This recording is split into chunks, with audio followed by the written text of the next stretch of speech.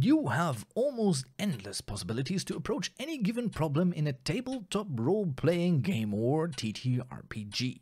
Combat, you've got your weapons and you know how to use them. Social interactions, uh, just let the bard deal with it. As the player, your character has a huge selection of skills, gear, and abilities to tackle everything, especially when you use your imagination. However, every character will have room and the wish to grow. Sometimes they discover something they really like to do but aren't equipped to do it. Other times their rolls during character creation makes their life more difficult than it needs to be. That's where magic items come in. Magic items can do anything you can imagine. Have a scrawny halfling who is all smart but no brawn but really wants to help their allies. Give them a ring of hill giant strength and watch them carry their friends to safety. Have a dwarf that knows all about dragons and is obsessed with their strengths? Give them a dragon scale cloak with fire resistance and plus 2 to intimidation checks. Magic items are a great reward and can really help flesh out and expand a character. However, there are some issues with magic items. Firstly, the character you wanted to give the item to might not even end up getting it. Secondly, even if the character has the item, they might not know what it does. Thirdly, even if they have it and know what it does, it might simply be forgotten with all the things they already do have and can do.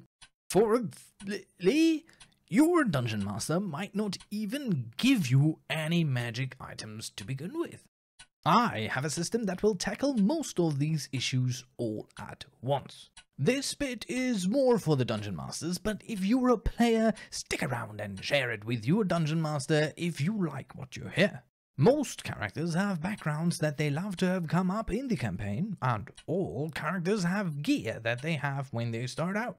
Why not turn the equipment your characters start out with into magic items over time? As they grow in power and improve their skills, they will certainly become more familiar with their gear, so starting out that could simply mean giving their sword a plus one to hit and damage. Seemingly mundane things can reveal hidden powers tied to the backstory, or maybe the party frigs a benevolent spirit which then grants each party member an enchantment on their favorite piece of gear.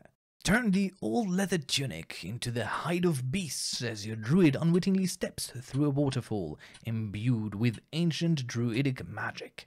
This way, you can tie the item directly to their class or background, which often starts out with a seemingly mundane item anyway. And even if it isn't part of their backstory, it immediately becomes part of their own legend. Just imagine being so powerful that some of your abilities seep into your own gear. Now bring in enemies that had heard the stories of the party's amazing exploits and decided to come claim these wondrous artifacts for themselves. Your party will rarely feel so powerful or amazing, and the additional threat of losing such a precious item can create new story opportunities.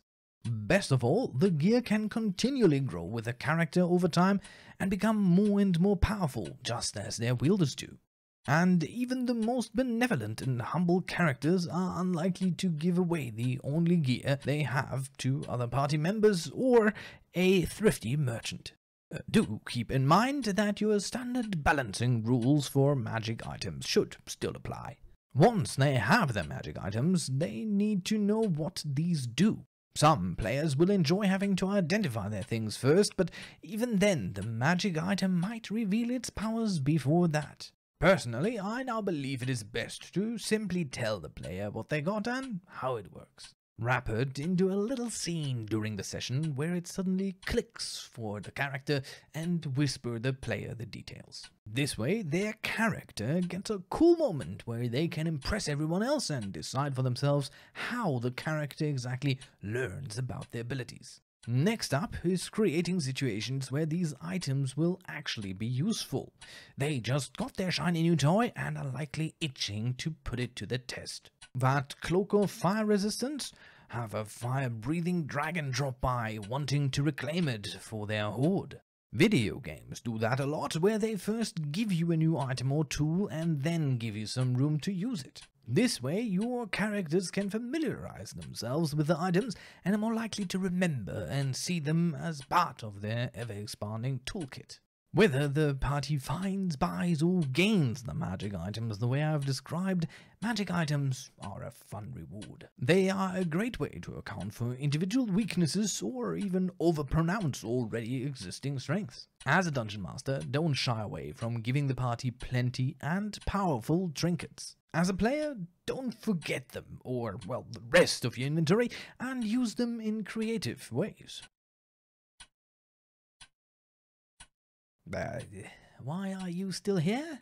Go and convince your dungeon master that this idea is really good and help me help you by helping me to help you get those magic items. Or, if you are a dungeon master, uh, think of ways to imbue your party's gear with cool and unique magical powers.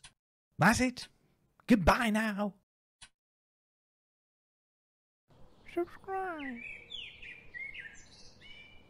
subscribe, subscribe, subscribe, subscribe, subscribe. Goodbye.